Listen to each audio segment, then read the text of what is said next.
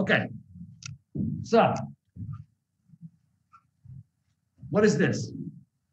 There's a couple of different types of problems that you're going to get on the Coast Guard exam. And they're also, you know, and uh, uh, the, the first couple problems we're going to do, you should know how to do, period, anyway. The other ones are like doubling the angle on the bowie kind of stuff, all right? That's going to be using something called table seven. Frankly, I've never used that ever in my career. I doubt you ever will either. But it's on a Coast Guard exam, so we going to do it. Okay?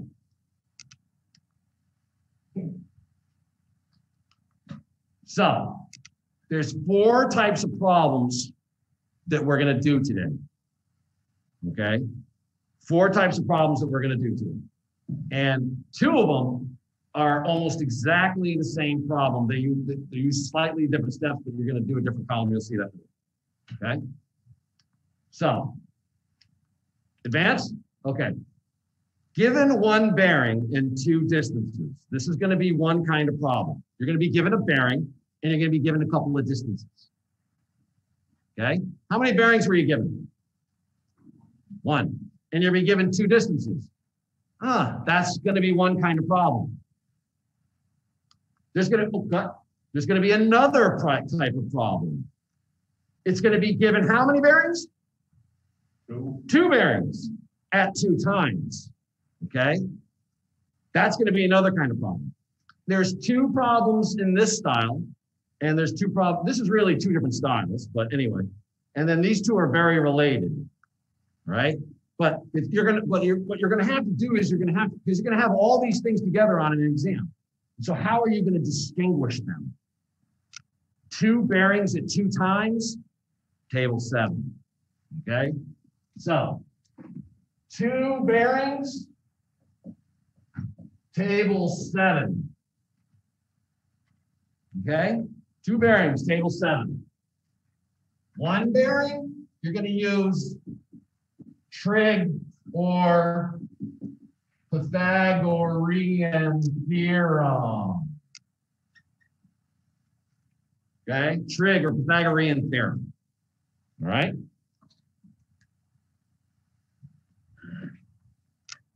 So, can, Dan, can you read that from all the way over there? It's okay. Okay. And uh, Devaney, can you read that from all the way there? Bailey, that's okay? Okay. All right. So, one of these, when you're given one bearing in two distances, you're going to have to find the required course to pass an object. Okay. Here's an example. You're cruising along. Okay. You're cruising along. And you're like, yeah, here's my course line. We're going like this and there's a freaking something like a light.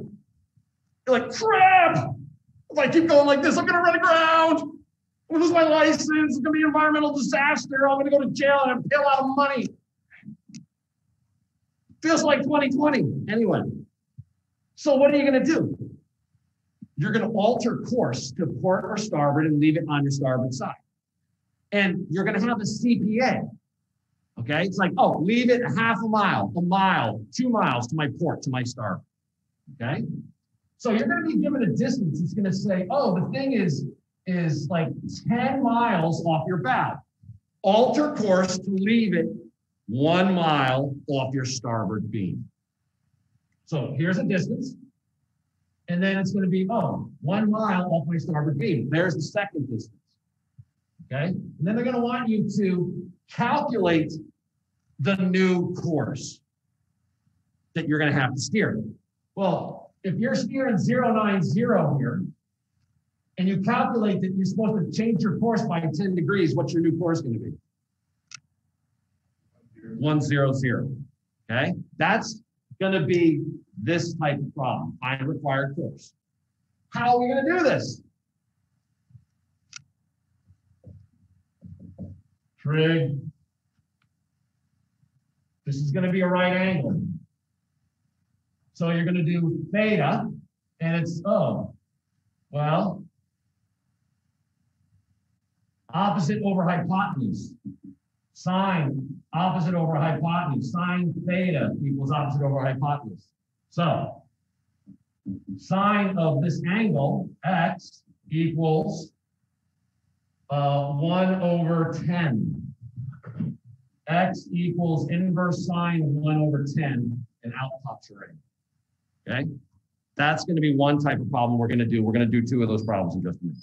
I'm just whetting your appetite here a little bit. Okay? These are prenotes. Okay? We're going to go through all this again in just a minute. Okay? How many bearings were you given? One. It's dead ahead. Okay? And this type the thing is always going to be dead ahead. And then you're going to alter course. Okay? That's one thing. Another natural extension of this is going to be, hey, you know what? If you altered your course to leave at one mile, and you know this is like 10 o'clock in the morning, and you're making uh, 15 knots, and it turns out you know you're gonna you're, you're gonna end up calculating this leg. You're gonna end up calculating that leg. Okay. If I know that this one's 10 and that one's one, if I can determine how long this leg is, and then I can do my rate times time equals distance, I can figure out how long it's going to take me, right? Well, if I know that this is 10 and this is 1, how can I freaking calculate how long this is? There's a couple different ways. I can use sine, cosine, tangent. Or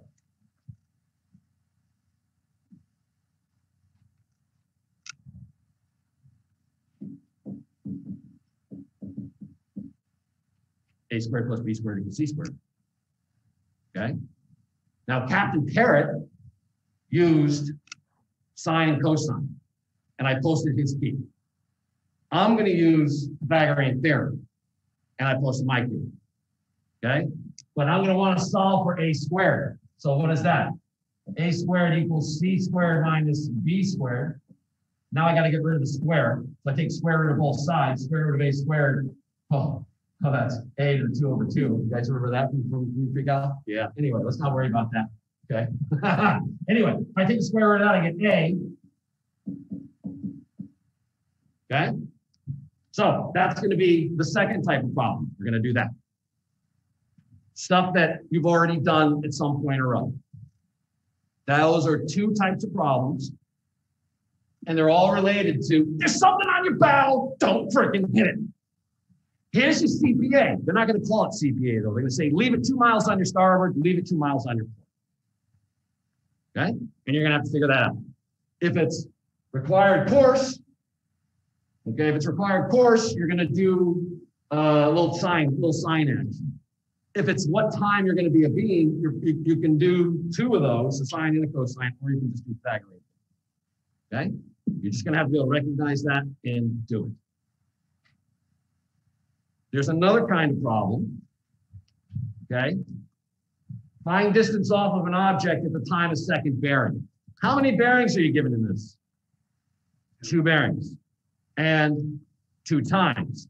So if you're given two bearings and two times, you're going to use table seven. Okay? You're going to use table seven. All right?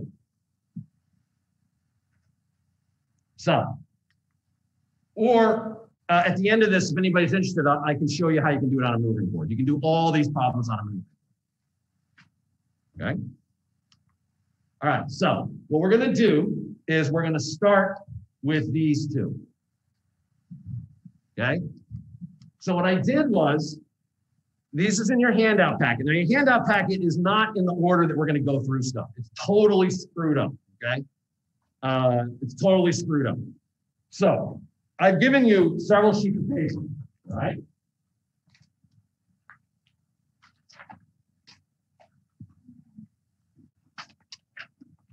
There's this thing, there's, there's these tables. We're not going to need these until we do table seven. So just put this to the side. Okay, put this to the side for now. It looks like this. Got a little Bowditch page, Bowditch page. Put that to the side for minute. Then there's uh there's these two, okay? And um these two should really go together. I forgot to put this page in. So this, there's like three pages stapled together, and then there's uh, another page, find time of beam. That one goes at the back. So this would become seven, and that would become eight. So if you were to download this handout packet online, okay, anyway, that would be seven and eight, okay? Okay, great. So we're actually going to start We're actually going to start on page five. Take that. Okay. Go to page five. Find the required course. Okay. And we're going to do number one and number three on page five. Then we're going to skip to this single handout and we're going to do one and three of fine time again. Okay. Then we're going to go to table seven. All right. Let the beatings commence. Let, let the uh, let the learning commence. Let the learning, yeah.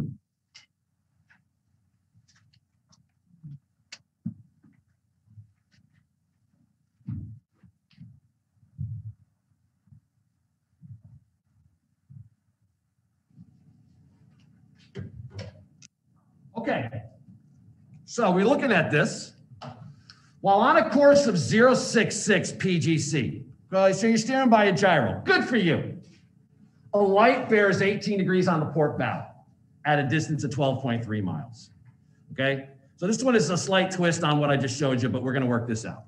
So while on a course of 066, a light bears 18 degrees on the port bow at a distance of 12.3 miles. So what do we know so far? Well, I'm steering, so I'm going to draw something. Okay, so this is one. Oh, uh, uh, before I do that, this one. While on a course of 216 PGC, a light bears 12 degrees on the on the bow. How many bearings do they give you to the light? One. How many bearings to this? One. Down here, we're going to do this one in just a minute. How many bearings? One. How many bearings? One. Okay, only one bearing. When we go to the next style of problems, we're going to have two bearings. Two bearings, table seven. One bearing, not table seven. Trig. Okay? Anyway, so this is number one, required course. So what do we know? Uh, all right, so I'm going to just draw, that's 090. I'm just going to draw something like this. Okay? This is my course, 066. If you want to write the PGC, you can. It won't hurt, but you won't. it won't matter if you if you if you don't if you don't have it in there.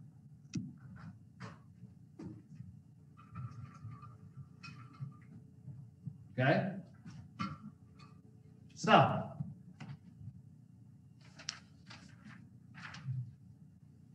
I'm doing 066. Okay. Now, there is a light on my port bow. How many degrees on my port bow? Okay, so that means this is going like this, port's over here. And this is important. If you screw this up and you put this down here, you're going to be totally effed. Okay? If I'm going this way, port's that side. So I see a light over here, and this is 18 degrees. Okay? This is 18 degrees. Okay? All right. Now, we don't know exactly what this angle is at the moment. I mean, we, we don't know we don't know what our distance is. But what they say is, hey, you know what? You want to alter your course to leave the light four miles on your port beam. Four miles on your port beam. Okay? So if this is more than four miles, we're going to alter course to port. If it's less than four miles, we're going to alter course to starboard. We don't know yet. Okay? We don't know yet. So we're not going to worry about that detail just yet. Okay? But what we do know is, is that if this is our object,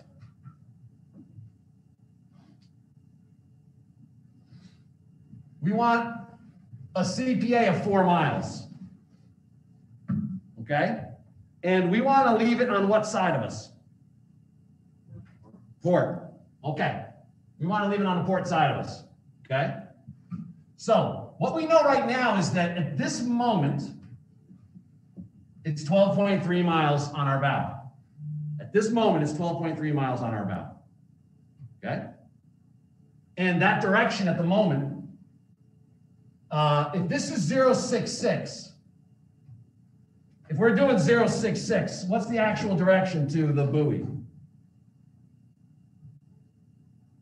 048. Okay, so to get the direction of the buoy, Okay, so the buoy is 066 minus 18. So what is that, 048? Okay, so this is 048. So we just derived that. Okay, Okay. We may not, we may or may not need that number. We'll have to wait a second, okay? All right, now, what course should you steer to leave the thing four miles? All right, I'm gonna steer some course here now.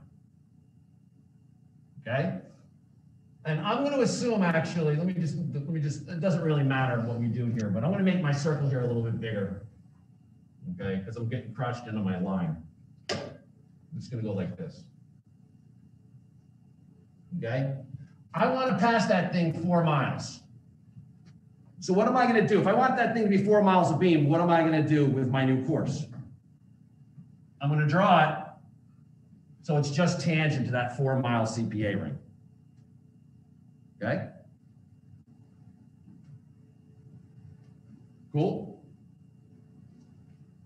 So this leg is now four. This leg is 12.3. Guess what? How far am I supposed to, what, what, what, what's, what's the condition I'm supposed to be in when I'm four miles off? What does it say? Four miles what? Four miles what? On the port beam? So if I'm doing this, if I'm steering this, tell me when my port beam is. I'm steering this. Tell me when it's on my port beam. Oh, what's this freaking angle right here? 90. When it's on my port beam, what is going to be the angle between my course and the buoy? Okay, so this is a crucial step. You have to put the 90 degree angle in the right spot. You have to put the 90 degree angle in the right spot. The 90 degree angle is going to go between your new course and the beam leg, for lack of a better word. Okay? The beam leg, leg of a triangle. Okay?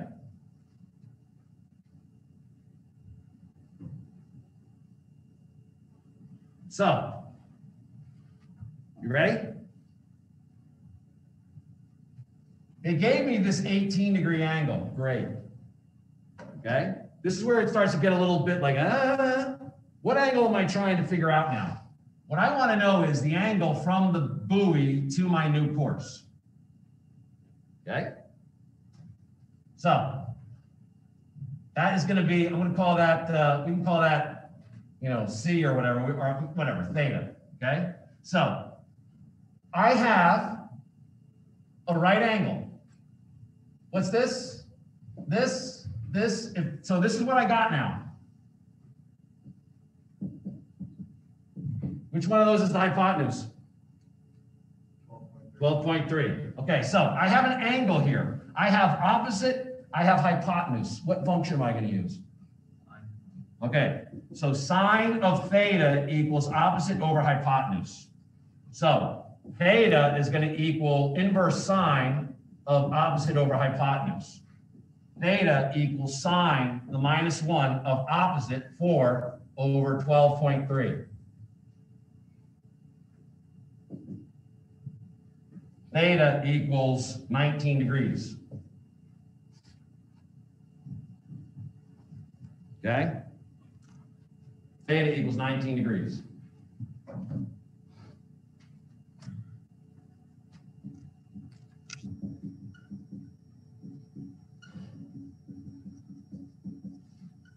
What course should you steer? You can figure this out two ways. What course should I steer? If, in order, I start off and the, the, the, it's 18 degrees off my port bow. But I want it to be 19 degrees off my port bow based on this math. What course should I steer? Zero, six, seven, Why did you get that? Because you're already at eighteen, so you only have to move one degree. Yeah, I only need one. So I can add one to there. And now that is zero, six, seven. What's another way I could have done it? Add it to the zero, four, eight. I could have added 19 to the 048. And that also would have given me 067. Okay? We're going to do another one of those in just a minute. Questions? Who's having fun? Thank you, sir. May I have another? Yes, you may. We'll do number three. Okay, now look, these are a little bit, yeah, you're going to have to practice these to get the routine down. Here is the thing. Here's the thing. Okay? Where you need, where, where, where are you going to have your issues? Port or starboard. You have to get that, you have to get that right. Okay? If you had put this the other way, you would have done the math at the end differently. You would have still gotten 19 degrees, but then you would have subtracted it instead of adding it, and you would have got a different number. Okay? So you got to get your port and starboard right. Where else can you get tripped up on these? You got to get the right angle in the right spot.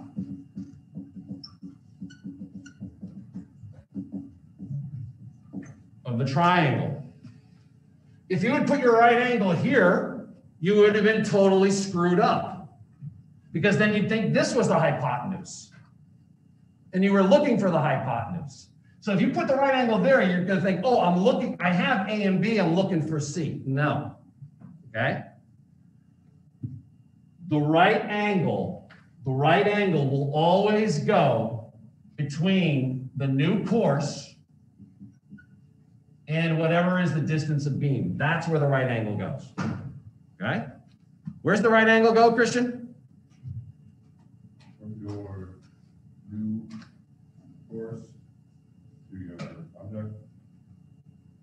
The new course relative to the object and the and the the leg that is going to be the beam leg. How do, how do you know how to, how big to make the radius? It, it doesn't really matter. Okay? So really, we could have drawn this whole thing like this.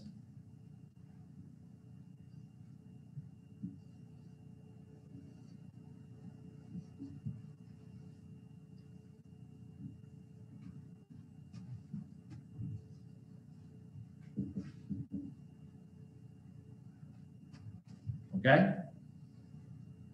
So, you know, you could have drawn it without your courses in there at first, and you could have calculated that this should be 19. Okay? Then you could realize, well, I got 19, I only need 18. I had 18 already, I just need one more. Okay? So there's there's so there's a little bit of guessing, and so don't get bogged down. Your picture could end up being wrong. Okay? Don't get bogged down by that. Okay? All right, so that was the first one. Let's do, and, and if you go to the PowerPoint, you know, anyway, there it is right there. Okay, great. All right, let's do this one. This is number three. Okay, while on a course of 216 PGC, okay, would it matter if they told me 216 true, 216 compass? No, as long as all the numbers are the same, okay, there's only one compass. Anyway, if it, if it was true or compass or, or magnetic, it wouldn't matter because there's only one course given, right? So anyway, so you're on a course of 216, all right? So here we go. Now we're doing number three. We're on a course of 216, all right? So that's like 180, that's 270, that's two, 216 enough, okay? A light bears 12 degrees on the port bow. Okay? A light bears 12 degrees on the port bow. Now, this is one that can really screw you up. Which is my port bow? Is this my port bow or is this my port bow?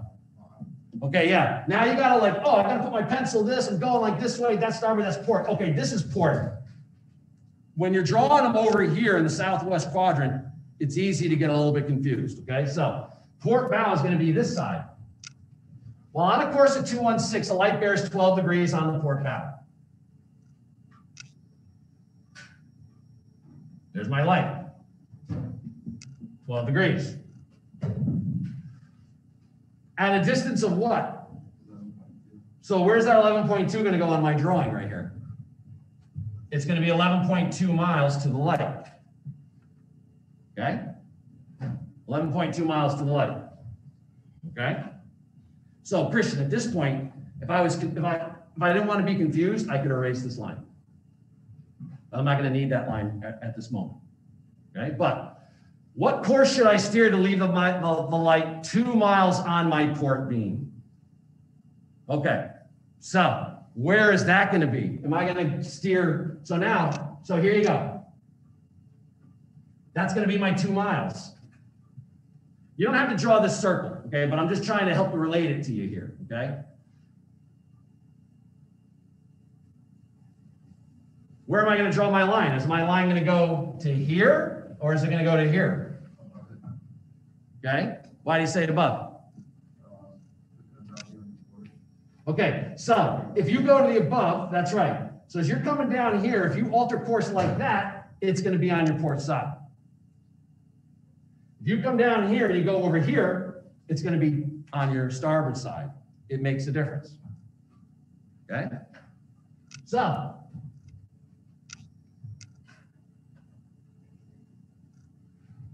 we're going to do something like this. What's this? That's the new course. That's the new course. Right? Nathan, what's that? New course. Nathan, what's the radius of this circle? So that's smaller than But they freaking tell you what the radius is. What's the radius? the two miles. It's two miles. Okay. Now, what I'm going to do is, is I'm going to draw a line from the buoy, Nathan. I'm going to draw a line from the buoy to my new course track. The question is, is the right angle going to be here or is it going to be here? I'm going to draw a line. Is it going to be, am I going to have my right angle here or am I going to have my right angle here? Okay, can you on the bottom? The right angle always has to be with the new course. So that means that my right angle has to be here. Where does the right angle always go? With the new course. So this is my right angle. Okay? What it boils down to, and, and you don't even need, what it boils down to is that the, the initial distance is always going to be the hypotenuse. And the, uh, the, um, the, the, the, the distance off is always going to be the opposite. So you can just skip right to sine, okay? You can just, uh, what is this supposed to be? This is supposed to be two miles, okay? Just given this information, you don't even draw, draw a picture. You can go like this, sine of opposite over hypotenuse, okay? Sine theta, opposite over hypotenuse. Okay? Sine theta is opposite over hypotenuse. So theta is sine the minus 1 of 2 over 11.2. That becomes 10.3.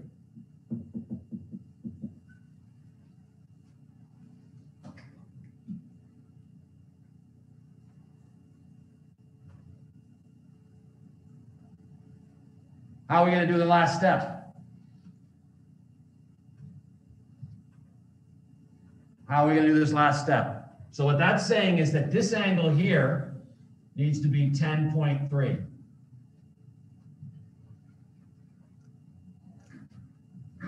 How are we gonna do my last step?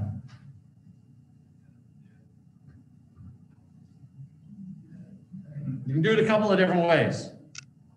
But what I'm gonna do is, oh, you know what?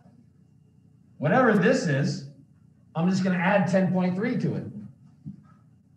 This is, the- this is, uh, you know, the buoy. I want to be ten point three. I wonder if I can figure out what the buoy is. What is the buoy? Twelve degrees less than. Okay. Sixteen. So this is two one six minus twelve, and then it's gonna be plus ten point three. That's one way to think about it, okay? So that would be, uh, two, what is that, two zero four? Yep. Two zero four. So this is two zero four, and I wanna be plus ten degrees. So that's two fourteen point three. Okay? That's not the only way you could have figured that out. Okay, we could have done this, uh, you know, anyway, I didn't do it that way. But, uh, you know, if it's twelve if it's twelve degrees now and I need ten, I got one point seven too many. Anyway, I could do it that way, blah, blah, blah. I didn't do it that way. I'm not gonna do it that way. It doesn't work in my brain. But that might work for yours. Okay? That's how those problems are gonna go. Okay, that's how those problems are gonna go. What were they asking us to figure out? What are they asking us to figure out? A new course. New course. You're gonna do sine of the angle equals the hypotenuse equals uh, opposite over adjacent, which in this case, opposite over hypotenuse, which in this case is going to be the beam distance divided by the original distance. Okay? It's always, the pattern is going to always be that. It's going to be whatever is the beam will be on the top, whatever is the, uh, the distance that you initially saw is going to be on the bottom, and you're going to do inverse sine on that.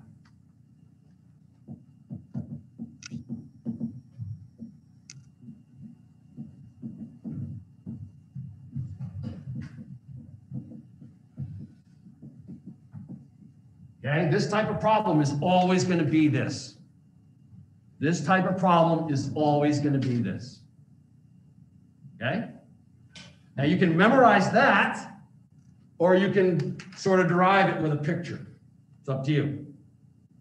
Then, after you get this angle, then you got to flux with the angle to get the course. Okay? This was us calculating the angle, and this was us fluxing with the angle. Okay? We got the new course. So I gave you like eight of those, okay? Good times, good times. We're gonna move on to the next problem, and then we'll take a break, and then we'll do table seven.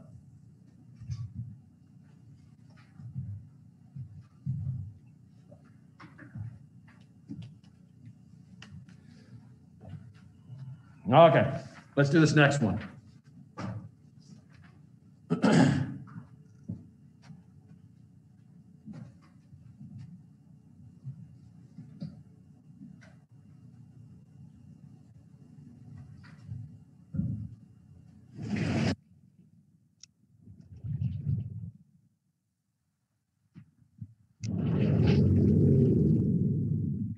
We'll leave that, I'm gonna erase.